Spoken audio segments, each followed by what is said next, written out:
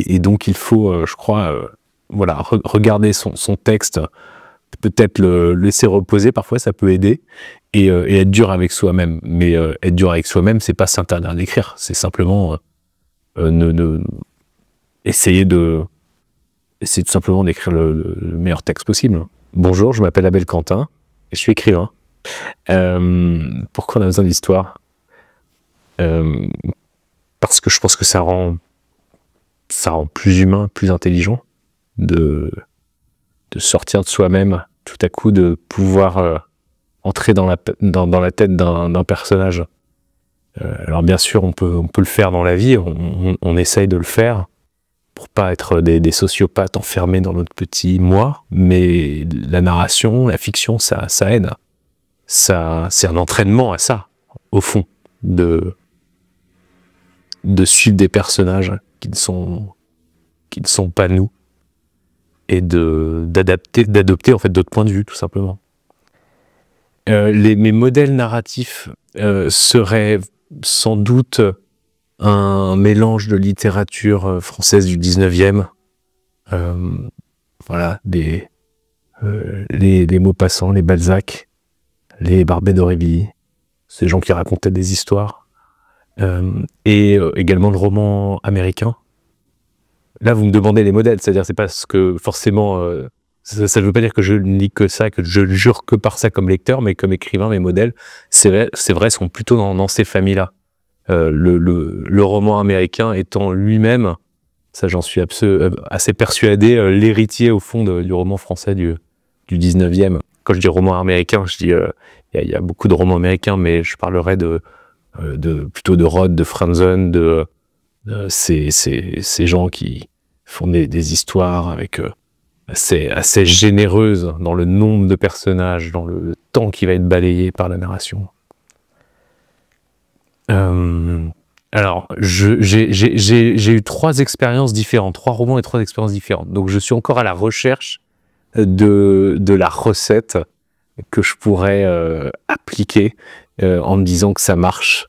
Euh, je, suis, euh, je, suis, très admiratif des gens qui l'ont trouvé. Je pense par exemple à un, écrivain comme Jean-Paul Dubois. J'avais appris que il avait euh, finalement une, il avait une façon de faire qu'il qui appliquait maintenant à chacun de ses, ses projets littéraires où il, euh, je crois, faisait des recherches et travaillait sur un plan pendant dix mois, écrivait pendant un mois.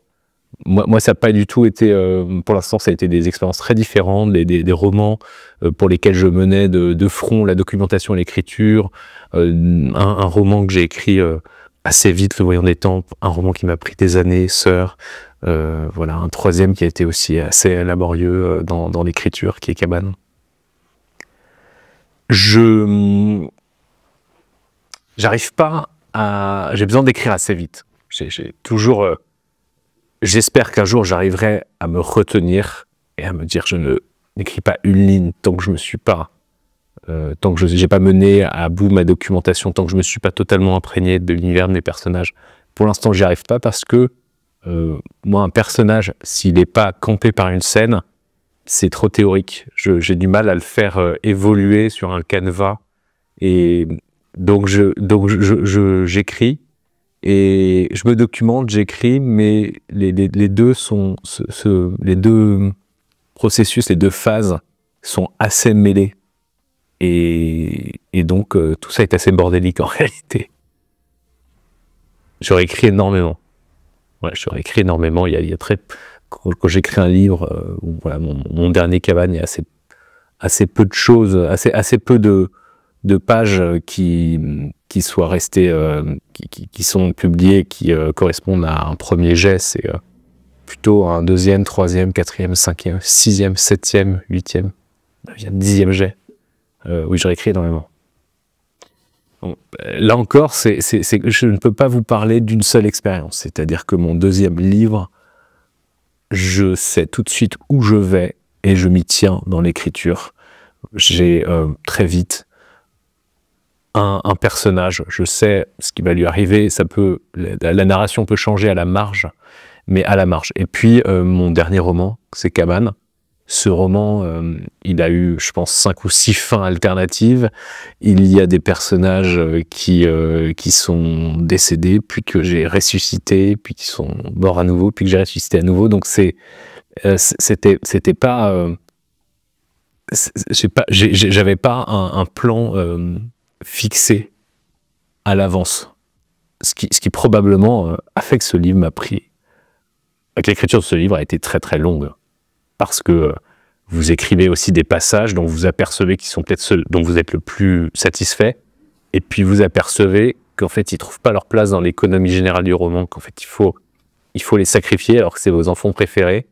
Mais moi je suis très très attaché à la à la composition et donc euh, j'essaye de faire ce travail de qui est pas qui est pas facile de, de, de parfois sacrifier des choses en en, en, en ayant toujours en, tête euh, le l'effet général que vous produisez.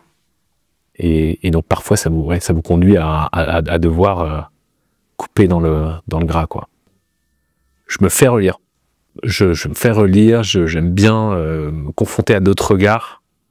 Euh, ça m'a... Parfois ça, ça, ça, ne vous aide pas à grand chose, mais c'est parfois aussi très très très utile de sortir de votre solitude parce que c'est c'est un travail qui est très très solitaire. C'est un travail où vous pouvez être, perdre, une forme, perdre toute lucidité après des, mois, des années d'écriture. Vous savez plus si ce que vous avez écrit euh, est, convaincant. Et, parfois, ce, regard-là, d'une première lecture de quelqu'un qui découvre votre texte, chose que vous ne pouvez plus faire vous-même, parce que vous l'avez trop relu, vous êtes trop repassé sur le métier, eh bien ce regard-là est, très précieux. Ouais, moi c'est très important. Euh, en fait, moi je postule l'ennui du lecteur en permanence. C'est-à-dire je, je suis en train de me dire, le lecteur là est en train de mourir d'ennui, littéralement. Et euh, parfois de façon excessive d'ailleurs, parce que du coup je, je sacrifie peut-être parfois trop. Et, euh, et je, voilà, je, je, je postule euh, ce, cet ennui-là, ça paraît un peu bizarre à dire comme ça, mais euh, c'est, ça, ça vous conduit, c'est quelque chose comme une sorte d'aiguillon, cette façon de faire, qui me, me force à, euh, à être rythmé, j'espère, dans l'écriture et dans la narration, à, quand même euh, vraiment poser la question du rythme, qui, qui, est d'éviter les, les, les, faux plats, autant que possible en tout cas. Euh, je pense qu'il y a des, oui, il y a des recettes. Alors c'est pas forcément conscient, mais je, je me rends bien compte euh, d'un livre à l'autre qu'il y a des choses qui sont peut-être pas visibles d'ailleurs, mais euh, en, l'écrivant, vous apercevez que vous vous, utilisez. Euh, alors moi, des choses d'ailleurs que, que j'emprunte peut-être. J'aime bien les, les cliffhangers. J'aime bien le. J'aime bien qu'il y on est qu'au milieu du livre et d'ailleurs c'est quelque chose qui est commun à mes trois livres en fait à peu près au milieu du livre il y a une rupture. Euh, il y a soit une rupture radicale dans le style ou dans le point de vue ou alors euh, une découverte qui remet en cause tout ce que j'ai euh, raconté au lecteur avant. Et ça c'est vrai que je l'ai fait à chaque fois. Pas, forcément en préméditant en disant je veux le faire mais j'y viens j'y viens toujours en tout cas, j'aimerais que ce soit le cas à chaque fois, ce qui est, euh, qui est un chemin parcouru.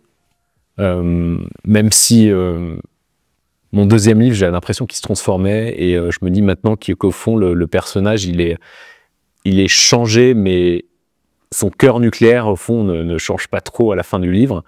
mais j'essaye, ouais, j'essaye. C'est en tout cas un, objectif que, que, le, les, les, voilà, que les personnages, c'est pas Tintin, quoi. Tintin, on sait qu'en fait, il, traverse des tas d'aventures, mais au fond, c'est toujours ce bon vieux Tintin avec Milou euh, qui, euh, qui a pas l'air d'être euh, bouleversé. Et en fait, du premier album jusqu'au dernier album, c'est toujours ce gars frais comme un gardon, curieux, sympathique. Euh, et bon, c'est pour ça qu'on aime Tintin, mais moi j'essaie de, dans le roman en tout cas, je, je pense qu'il vaut mieux que Tintin soit un peu abîmé à la fin, ou en tout cas changé, et qu'il a pris des, des choses qu'il ait changé et qu'il ait vieilli, qu'il est. Donc moi j'aime bien faire vieillir les personnages par exemple. Je vois comme lecteur d'un très bon oeil quand c'est réussi, c'est toujours pareil. Quand, quand, quand vous. Euh, alors moi j'ai essayé de le faire en, injectant de la poésie par exemple dans mon deuxième livre, puisque en inventant un personnage de poète et du coup en écrivant la poésie de ce personnage. c'était une forme d'hybridation. et, et j'aime bien comme lecteur l'hybridation. Euh, je sais pas de, c'est-à-dire des, je sais pas comment, ouais, peut-être on peut la reprendre ça. Parce qu'il faudrait que je vous donne un exemple, mais à la fois j'aime bien, mais j'ai rien qui me vient en tête. Euh. Enfin, si, ce que je suis en train de lire souvent, mais. Euh... Ouais, bah si on peut, je peux faire ça comme ça, ok. Donc, euh, oui, et comme lecteur, j'aime bien, l'hybridation quand, quand, quand c'est réussi. Euh, et bon, bah, je suis en ce moment en train de lire un chef-d'œuvre que j'avais jamais lu, qui est Moby Dick de Melville, et qui est un livre avec de l'hybridation, puisqu'il y a, il y a parfois des dialogues de théâtre qui, qui s'intercalent dans la narration très classique. Et, euh, et c'est très, c'est, c'est, très étonnant et, euh, et, et en temps d'une, d'une audace euh, géniale. C'est, ouais, c'est, très puissant. Comment je me suis formé? En lisant, pas tout simplement, je crois. Euh, moi, j'ai pas fait de, j'ai, je suis pas si vieux que ça, mais quand, j'étais jeune, il n'y avait pas de master de creative writing. Euh, cette euh, invention américaine qui est en, train d'arriver peut-être euh, en France doucement. Donc, il n'y avait pas réellement de, de, lieu où apprendre à écrire. D'un côté, il y a quand même, si je, je, réfléchis, je me dis que la première fois que j'ai écrit quelque chose, c'est une professeure de sixième qui avait cette idée géniale de nous avoir dit à tous les élèves, à la fin de l'année, vous, m'avez écrit un, une histoire, un petit livre, en fait, qu'on écrivait euh, sur un cahier, mais qui est un projet qu'on qu menait pendant toute l'année. Donc c'était euh, une sorte de devoir d'invention qui durait un an. donc euh, ça, je l'ai fait grâce à, à, une professeure de, sixième. mais sinon, la lecture est, à mon avis, l'école l'école la, la, la, plus utile et, et je dirais euh, la lecture qui change quand vous vous mettez à écrire parce que vous commencez à lire comme un écrivain, vous commencez à lire en, en, regardant euh, la fabrique des autres, enfin regardant les, les cuisines de, euh, des, des, autres et, et, et, sans doute ça vous imprègne, ça vous imprègne bien sûr. Alors mon premier conseil serait d'être dur avec soi-même. Je crois que l'écriture, il faut, il faut pas être complaisant avec soi-même, c'est-à-dire que pas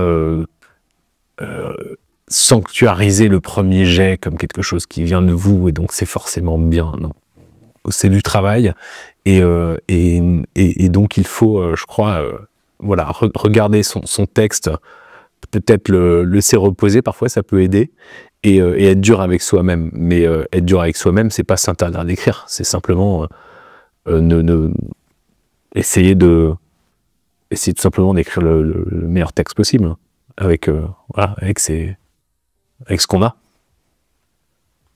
Je pense que l'intelligence artificielle est un problème pour la création littéraire à terme. C'est certain, parce que, bon, elle en est à ses débuts, mais euh, c'est une, une, machine apprenante, et euh, elle, force, mécaniquement, elle, elle, elle, va commencer à probablement à, menacer une partie de la littérature. D'un côté, on peut la voir comme un aiguillon, c'est-à-dire que justement forcer la littérature à euh, être euh, la, moins la moins stéréotypée possible, la plus originale, parce que euh, elle ne pourra pas tenir la concurrence face à, l'intelligence artificielle. Ça, c'est une façon de le voir de façon positive, mais euh, il ne faut pas, euh, je crois, négliger la menace.